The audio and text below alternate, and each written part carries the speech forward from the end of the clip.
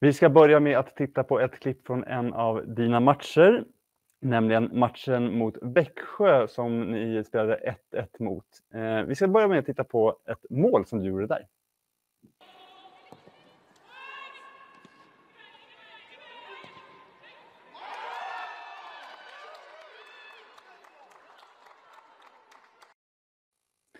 Du Stina, det där måste ju vara en kandidat till årets mål, eller vad säger du? Ja, det vet jag inte, men eh, jag får väl eh, i alla fall säga att det är ett av de finare målen som, som jag gjort i år. Det är fruktansvärt snyggt. Va, vad tänkte du där då? Eh, jag vet inte om jag hann att tänka så mycket. Eh, det var egentligen bara att försöka att agera. Eh, det var ju lite, vi behövde ju vinna, vinna den matchen så det var mycket känslor just där och då. Eh, och, så det var väl bara försöka att ta ner bollen, fick en ganska bra touch och sen eh, ja, ett bra avslut också.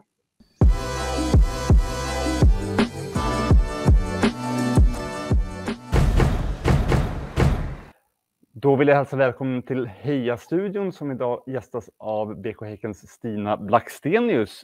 Välkommen Stina! Tack så mycket! Du har av eh, seriens lagkaptener och representanter från media och partners blivit utsedd till månadens spelare i Åbos damallsvenskan. Ja, vad, vad kul! Ja, hur känns det att få en sån utmärkelse? Eh, jätteroligt såklart, eh, speciellt när det är framröstat av, eh, av eh, spelare. Eh, så det känns såklart eh, superroligt. Mm. Vi ska titta på ytterligare ett klipp från en av dina matcher. I eh, bortamatchen mot Piteå som ni vann med 1-0 så stod du för en assist. Vi tittar på den här.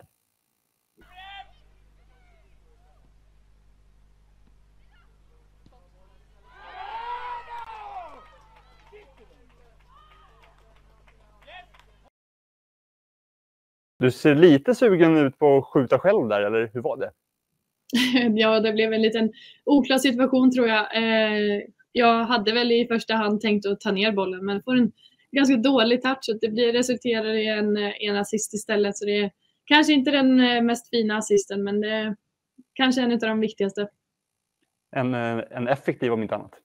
Ja, precis. Det kanske är det mer rätta ordet. Precis. Men du Stina, om du tittar tillbaka på den här hösten som ni är mitt inne i. Eh, den är ju lite speciell för er i BK Häcken för att ni är mitt inne i ett Champions League-gruppspel också. Eh, hur tycker du att ni som lag har presterat i, i serien hittills under hösten? Jag tycker att vi har varit, spelat väldigt mycket upp och ner.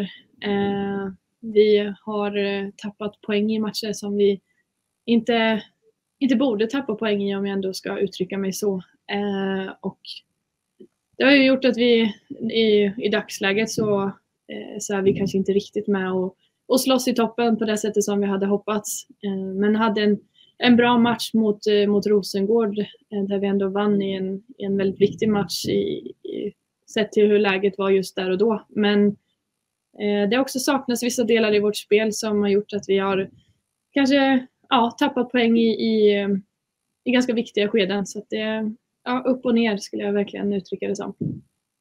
Ja, du var inne på det att du tycker inte att ni ligger, hakar på i toppen på det sätt som ni eh, skulle vilja. Ni ligger just nu tvåa, fem poäng efter Rosengård. Vad krävs för att ni ändå ska liksom, ta er upp där och fightas igen?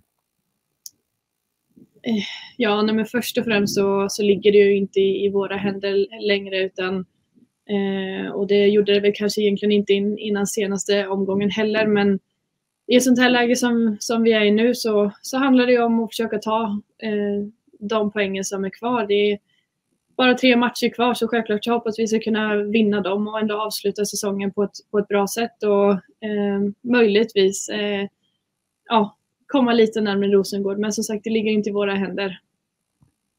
Vi var inne på det att det är en speciell höst, ett intensivt matchschema med Champions League också. Eh, hur påverkar det er spelare att behöva fokusera både på serien och på Champions League?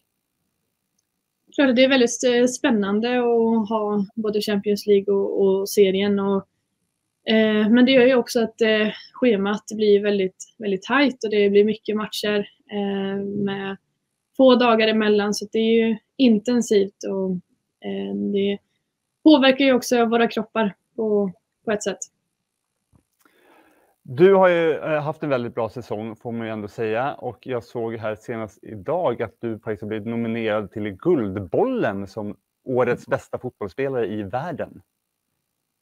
Eh, ja, en nominering till Ballon d'Or eh, ja. såg jag häromdagen och det var ju såklart otroligt häftigt att få se sitt namn på den listan. Det var ingenting som jag hade, hade väntat mig. Det var en positiv överraskning som sagt. Och ja, väldigt häftigt eh, med tanke på hur många fantastiska spelare som, som står med på den listan.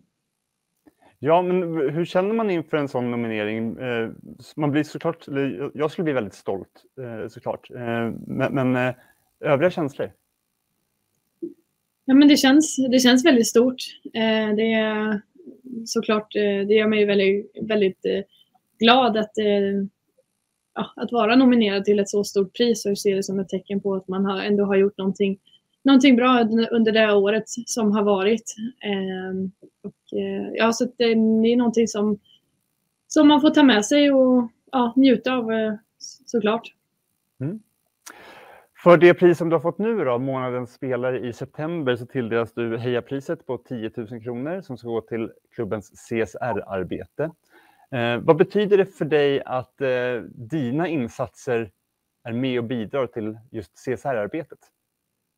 Ja, men det känns, eh, känns jättebra. Jag eh, tycker att det är ett bra initiativ och kan man vara med och, och bidra till det så känns det, känns det jättekul. Så det blir ju ännu en, att man motiverar sig ytterligare till att, till att fortsätta. Så att det, man kan fortsätta bidra.